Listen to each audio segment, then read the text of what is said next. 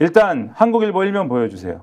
네, 여당 전당대회부터 얘기를 하면 몸싸움 전대 내탓 공방 공멸기로에선 여당 이렇게 돼 있습니다. 어, 근데 뭐 어제 그 어제부터 계속 표현이 나오는 게 전당대회가 아니라 분당대회다 이런 표현이 많이 나왔는데 한국일보는 동물전대다 이런 표현을 쓰더라고요. 그렇죠. 우리가 옛날 동물국회 이런 네, 얘기 많이 했는데 그러게 말이에요. 네. 동물전대 급기야 지지자 간 육탄전을 불사하는 동물전대로 치달았다 이렇게 돼 있고 세이시는커녕 내전에 빠진 형국이다 이렇게 돼 있고 음.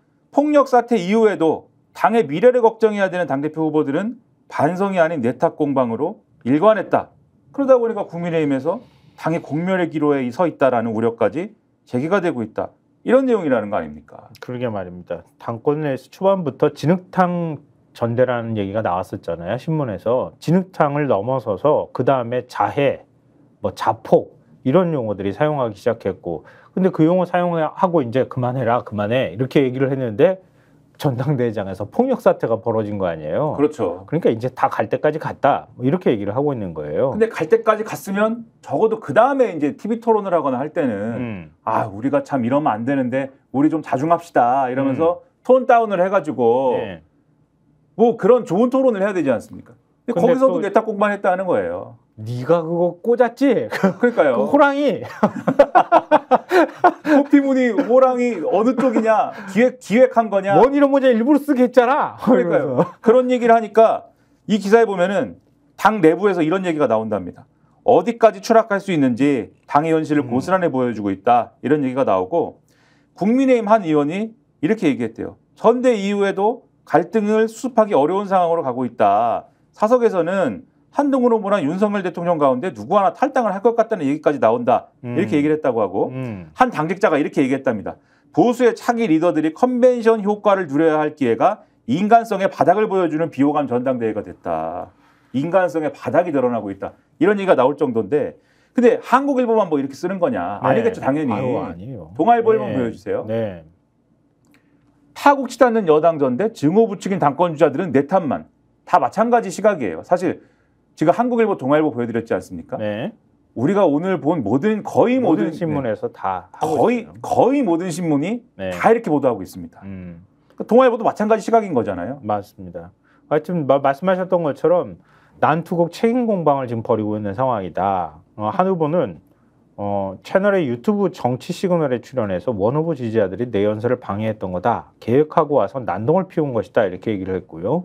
원 후보는 한 후보 팬클럽을 겨냥해서 이런 팬클럽 행동이 과거 우리 당에던 당에선 없었던 부분들이 유입된 게 아닌가 걱정이다. 이렇게 반박을 했다고 합니다. 이거 왜 그 어제도 얘기했잖아요. 뭘 유입을 어떻게 유입이 돼? 어, 보고 따라했단 얘기야? 그러면 민주당 민주당에서 유입이 됐다고 하는데 수입을 한 거야 그러면은? 그러니까 하여튼 뭐 서로 간에 이렇게 싸잡아서 그러니까 비판을 했고 반박을 하기도 하고 나경원 후보는 한동훈 원, 후- 원, 아, 원희룡 후보를 싸잡아 비난하는 상황입니다. 나 후보는 한 후보를 겨냥해서 출마 자제 자체에 엄청난 분열과 파탄의 원죄가 있다 이렇게 얘기를 했고요. 원, 후- 원희룡 후보를 향해선 원 후보의 황당하기 짝이 없는 헛발질 마타도어 구태인 네거티브가 기름을 끼얹었다 이렇게 얘기를 했다고 합니다. 그 이게 동아일보 보도를 특히 보여드린 거는 네, 어제 이제 이 당권 주자 네 명이 TV 토론회를 했는데 네, 채널 A 주관이었습니다. 음. 그래서 채널 A에서 방송이 됐거든요. 그러니까 채널 A는 어쨌든 동아일보하고 유관 방송사지 않습니까? 계열이죠. 그렇죠. 네. 그러면 이 토론을 가장 정확하고 음. 가장 심도 있게 아마도 보도를 했을 것 같은데 네. 그랬겠죠 아마. 그렇죠. 동아일보 오면 보여주세요 어떻게 보도를 했는지. 네. 동아일보 오면 한 댓글팀 특검 받을 준비하라. 라고 누가 얘기했냐면 밑에 조그맣게 나경원 이렇게 돼 있고요. 대 민주당과 편먹고 공격해 밑에 조그맣게 뭐라고 돼 있냐면 한동훈 이렇게 돼 있는 거죠. 근데 여기서 특이한 것은 나경원 후보가 그러니까 한동훈 네. 후보를 향해서 네. 댓글팀 특검 받을 준비를 해라라고 했다. 네. 기사 제목을 이렇게 뽑았다는 거예요. 그러니까 사실 여기에는 시각이 들어가 있는 거잖아요. 그러니까 첫 주자로 원희룡 후보가 나섰다고 하는데 한동훈 후보를 보면 황태자 같다 이렇게 포문을 열었다고 합니다. 그러니까 한 후보가 제안한 제3자 특검 추천 최상병 특- 특별 특검법이 윤석열 대통령을 위험에 빠뜨릴 수 있다면서 정치 이전에 신의와 의리가 있어야 하는데 항아리에서 꽃감만 빼먹는 모습이다. 한 후보를 직격했고요. 한 후보도 수사를 해도 나올 게 문제될 게 없, 없느냐?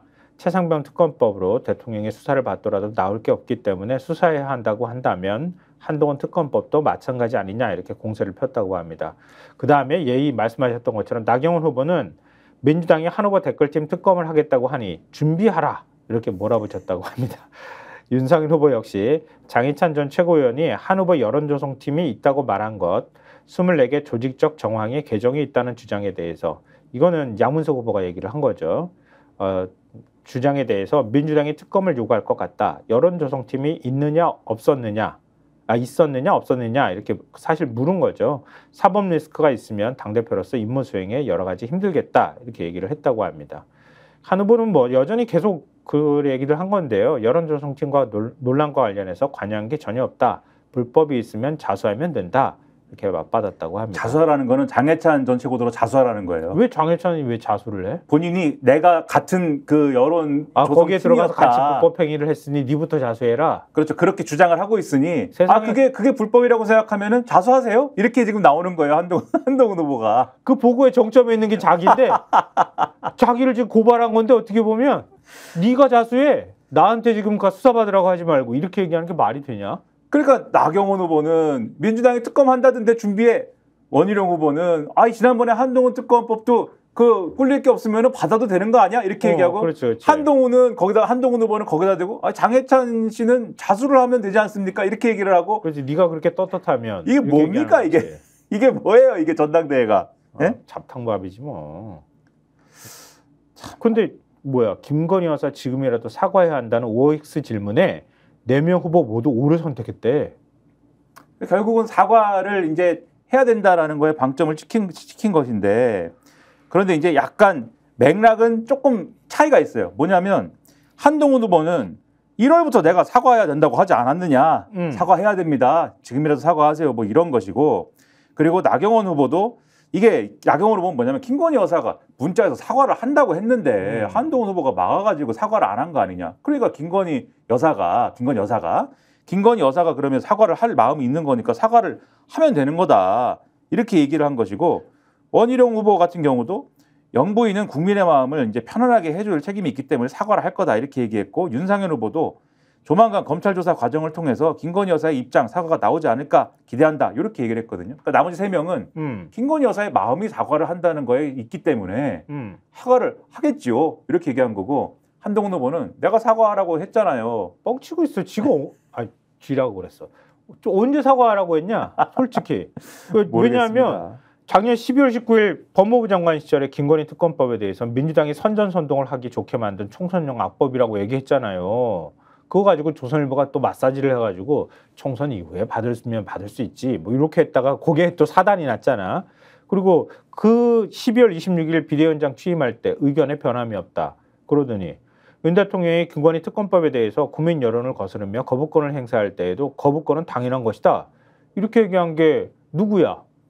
언제? 그때 그때 스탠스랑 지금 사실은 최상병 제3자 추천 얘기하는 거랑 비슷한 게 그때도 민주당 특검법이기 때문에 어, 악법이고 거부권 행사해야 되고 음. 한데 이게 뭔가 밑에서는 그런데 독소 조항을 뭐 음. 해소하고 총선 이후에 하면은 받을지도 이 얘기를 하는 걸로 뭔가 수를 써보려다가 음, 윤석열 대통령이 뭐 이렇게 네. 너 그만둬 이렇게 1월 초에 그만둬 벌써 했다잖아. 근데 지금도 특검법 접근하는 게 똑같잖아요. 네, 이거는 거부권 행사해야 되는 악법이고 음. 말도 안 되는 법인데 그러나 내가 제3자 추천을 얘기를 하면서 뭔가 판이 뒤집히고 보세요 이러면서 우리가 특검 받는 논리가 오히려 생긴 음. 거예요. 이렇게 주장하는 거거든요. 네. 내막이 뭔지를 알 수 있는 것 같고 그다음에 또 이제 묘한 질문이 박근혜 전 대통령 기소한 게 정당했느냐 이 질문이 아, 나왔거든요. 예, 예. 한동훈 후보가 여기에 대해서 어, 오를 택하, 택해서 당시 검사로서 직무를 수행했던 거고 그 과정에서 대통령과도 치열하게 토론하고 많이 고민했다. 직무상 그렇게 한 것이다라고 얘기를 했는데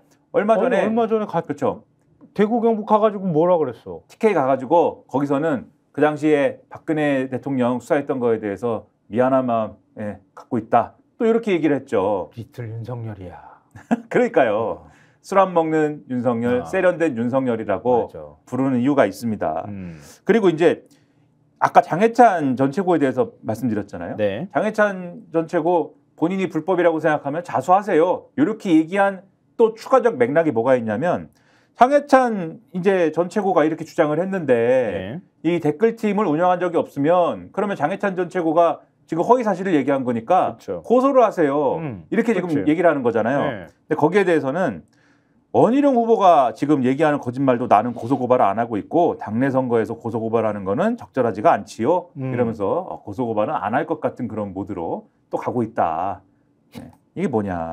근데 여기 동아일보 기사 안에요. 되게 재밌는 이 기자가 쓴 건데 이렇게 표현이 들어가 있어요. 상대 후보를 향해 배신자 꺼지라고 외치고 헤드록 이 목 조르는 기술이잖아요. 헤드록에 발차기 의자까지 던지려 시도했던 난투국 실상을 외면한 채 책임 떠넘기기에 그 급급한 후보들의 모습에 당 관계자는 보수 문락을 재촉하는 분당대회가 되고 있다. 강도 높게 비판했다 이렇게 쓰고 있습니다. 근데 보통 헤드록 뭐 이렇게 하면서 이 표현이 너무 문학적이잖아. 배신자 꺼져 뭐 이렇게 이렇게 목조르기 헤, 헤드록 이렇게 하면서 의자 던지고 난투구까지 시도했던 것에 대해서 당 관계자는 그렇게 얘기하더라. 뭐 이런 문구까지 기사에 들어가 있네요. 이런 대목도 있습니다. 한 여당 의원은 결국 민주당만 꽃놀이패를 쥐게 됐다. 서로 소중한 당 자산이라더니 상대방을 죽이지 못해 한 달이 났다. 그거 얼마 전에 그빡 터지게 했던 거당 네. 관계자가 네. 네명뭐 맛이 같다. 네. 모두 맛이 같다. 후보들이 단체로 맛이 갔다. 네, 아, 이런 참. 한탄이 나오고 있는 가운데 근데 민주당이 꽃놀이패를 쥐게 됐다고 말씀드리지 않았습니까? 네. 무슨 꽃놀이패인지는 조금 이따 보도록 음, 하고 음. 근데 이런 상황을 또 우리 조선일보는 조선일보만 다르게 보도를 해요. 음. 왜 그럴까요? 정말 조선일보 일면 보여주세요. 조선일보 일면 밑에 보시면은 21세기 정치 깡패 극렬 유튜버 이렇게 돼 있습니다. 후보들의 책임이 아니네. 극렬 유튜버 책임이네. 그렇죠. 유튜버가 나온다. 왜냐하면 어제 이제 그 논란이 됐던 인물들이 예. 유튜브를 하는 사람들이라는 거예요. 결국은 음, 음. 그 유튜브들이 유튜브를 하는 사람들이 정치인 쫓아다니면서 그 현장을 유튜브로 생중계를 하면서 특정 유- 특정 정치인들의 어떤 응원 측- 정치인들을 응원을 하는 사람들의 예를 들면은 그러한 뭐 예를 들면 뭐 구독자라든지 아, 구독자 숫자라든지 네. 또는 슈퍼챗이라든지 이런 거를 노리고 있는 사람들인데 어. 그러면서 발생한 문제다.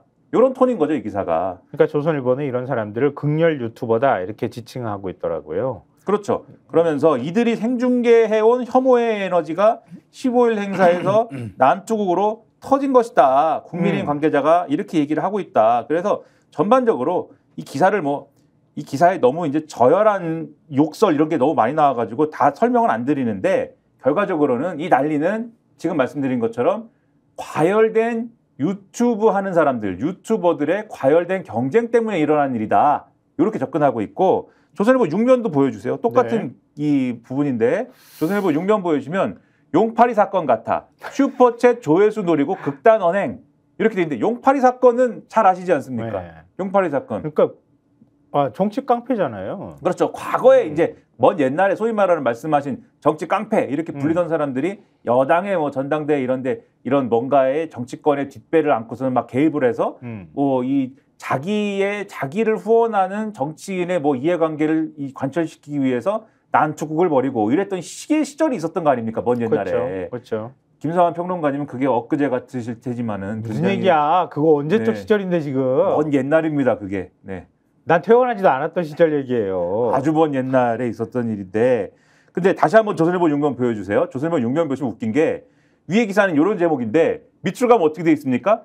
폭력 사태 이후 달라진 여당 후보들 비방 대신 정책 토론. 그러니까 이게 참 조선일보식 왜곡이잖아. 네. 다른 신문들은 전부 다, 다 후보들이 이런 식의 문제를 일으키고 있다고 얘기를 하는데 조선일보는 지금 결국은 정점이 됐던 거는 그 난투국 사태잖아요. 그 부분에 대해서 아 그거는 그 극렬 유튜버들이 돈 벌려고 한 짓이야. 국민의힘도 거기에 대해서 극렬 유튜버 세명에 대해서 전당대 행사장 출입을 금지하고 경찰에 업무방 혐의로 고발까지 했잖아. 그러니까 이런 행태들을 좀 없애야 돼. 이렇게 얘기하면서 후보들끼리 지금 동아일보도 뻔히 뭐 얘기했잖아요. 난투국 벌였는데 후보들은 아 자제하고 이 정책 토론을 했네.